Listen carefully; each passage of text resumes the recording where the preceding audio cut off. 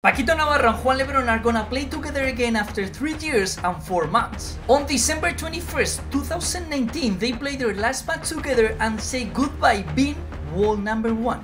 But this week they are playing together again, but be careful because if they reach the semifinals, we could have revenge. Don't you know what I mean?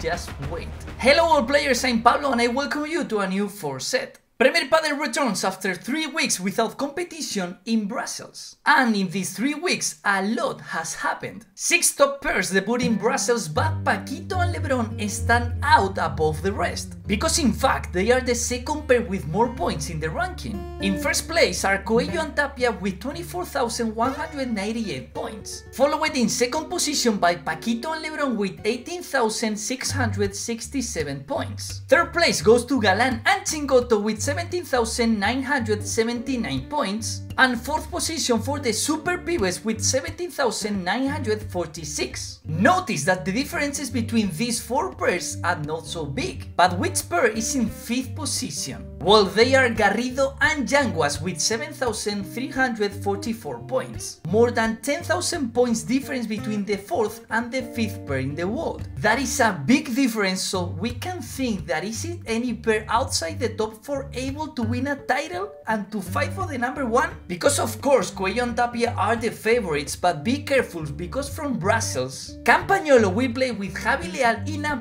that I like a lot. Javi Leal comes from winning in the PPL in Miami with Tolito Aguirre and I think he can do very good results with Campagnolo. Lucho Capra and Alex Chozas play together again, but also Alex Ruiz and Momo Gonzalez. The players from Malaga return after having shared a season together where they reached several finals but the title didn't happen. Actually, their first match will be against Juan Tello and Miguel Semmler, a special pair for Brussels, because Bela has injured his calf and won't be able to make his debut with Tello in Brussels. But thankfully, everything seems to indicate that Bela will play in Seville. So he will play on the right side of the court and will have to get good results quickly if he wants to say goodbye as a professional player playing in the Tour Finals in Barcelona at the end of the year. Another new pair but already well known is Sanyo and Maxi. They have done a mini preseason in Miami where they have trained together during the PPL although they were in rivals team. Don't forget that Sanyo and Maxi were number 1 in 2018 and already in 2019 they faced Paquito and Lebron. Actually the head-to-head -head between both pairs is in favor of Sanyo and Maxi with 4 wins and 1 loss. So things have changed but it's for sure that Sanyo and Maxi haven't forgotten about competing together. And we can almost say that there is another almost new pair, Galan and Chingotto. It's the only one that made their debut in Venezuela and they did it in an incredible way. They reached the final and won a set against Coello and Tapia with a very high level. Although in these weeks they have played 20 matches against Paquito Lebron and the Super Pibes and have lost both.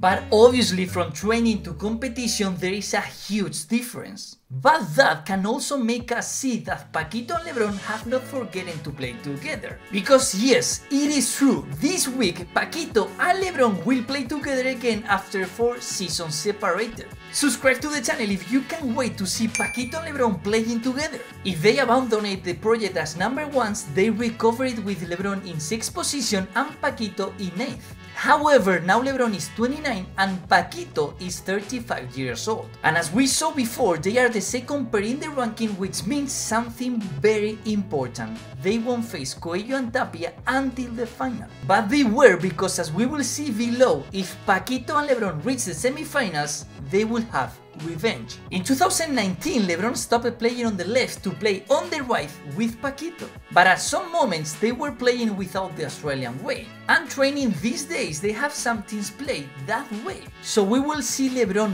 playing on the left? Well, it is very likely that at specific moments we will see him. But one difference compared to 2019 is that both Paco and Juan have less winners. Paco because of his age and Juan because of the injury. That will mean that maybe the points will last a little longer than in 2019, but obviously they will be a very offensive pair. After everything that has happened with Juan in the last few weeks, his union with Paco I think is the best thing that could happen to him. Because Juan has been in the spotlight after what happened in Doha and Acapulco. But playing with Paco is going to make a lot of people who were critical of him cheer for him. Because in the end, Paco is the most loved and most charismatic player of all and wherever he goes, he always triumphs. So that extra help from Paquito can come in handy for Juan to free himself from tension and play with more freedom. Emiliano Carcia from Padel Review asked Paquito how each one has evolved in these four seasons.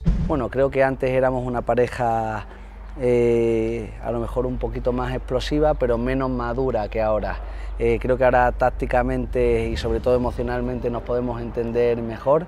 Creo que mantenemos eh, esas ganas de ganar, esa ambición y ese, ese bueno, coraje intacto de, de, ir partido a partido y de luchar por todos los torneos. Así que bueno, cuando me llamó Lebron eh, sabía que el reto iba a ser ir a por todas y, bueno, yo creo que la pareja puede dar mucha guerra. Y, y nada, yo, yo, estaba a lo mío y, y, bueno, cuando me llamó Lebron, pues, pues yo creo que la oportunidad era muy buena, a Lebron es difícilmente se le puede decir que no y, nada, y acepté el reto, que, que, creo que es un gran reto para mí, porque Lebron es un número uno y no me va a permitir otra cosa que no sea ir a los torneos a intentar ganarlos. Pero ya te, ya te he dicho antes, no me escondo, Lebron solo va a estar contento si, si gana torneos y si está luchando por el número uno. Todo lo que no sea eso, pues, pues eh, habrá que seguir trabajando y mejorando. From what Paco says, for me the key is that extra maturity. LeBron in 2019 was 24 years old and struggling for the first time to be number one. But the situation now is that he's fighting to be number one again. And I mean, there are other players who have become better than him, not that they already were. That humble treatment, the pass of time and experience can play in favor of Paquito and LeBron in this second stage. But how did the Paquito Lebron pair come about and what are their goals? Paquito has said it clearly that their goals is to be number one in the world. But how will Lebron and Paquito handle not winning a tournament in the coming months? Because that is one of the main doubts. How will Paquito and Lebron handle the pressure? Rodri Ovide, their coach, gave these answers on his own YouTube channel. Que se juntan dos grandísimos jugadores que ya fueron número uno en, en, en otro momento de su vida. ¿no? Eh, Lebron con, con, mucha más madurez, mucha más experiencia de haber estado número uno cuatro años. Paco eh, ya con, con, la cabeza bien, bien asentada, eh, con, con un momento de su carrera en donde le viene una oportunidad muy buena y sabe que la puede aprovechar muy bien, que todavía está, está muy, bien, muy buen puesto para, para poder eh, eh, acoplarse al juego de, Juan y, ser una pareja que aspire a lo más alto. Muchos de ustedes me preguntan eh, cómo se va a controlar los temperamentos, los choques emocionales que pueden tener Juan y, Paco. la verdad que no es algo que, hayamos hablado ni, anticipado, creo que los dos están en una madurez distinta, se conocen mucho, eh, tienen eh, una relación de, muchos años. Creo que el momento este es totalmente distinto. A los dos los veo con, muchas ganas, con mucha ilusión y sobre todo con mucha alegría entrenando, que es lo que hace que después la cosa fluya mejor.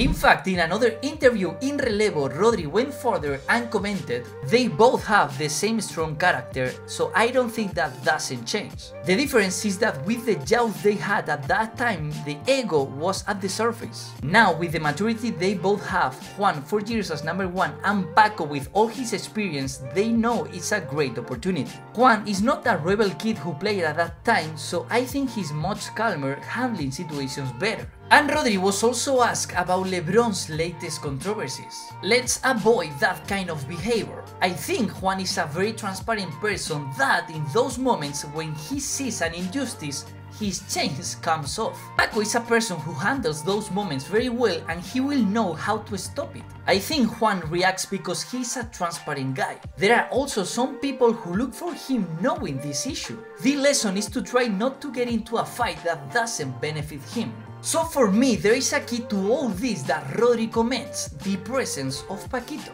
It's true that Paquito is a hot player, but he knows how to carry LeBron. If we compare the personalities of Galan and Paquito, we can see that they are very different. Galan chose to manage LeBron's character, but Paco will put more limits. So if LeBron can accept it, they can be very dangerous for their rivals. And Rodri also gave his opinion on his YouTube channel about the current status, strategy and style of play that they will have.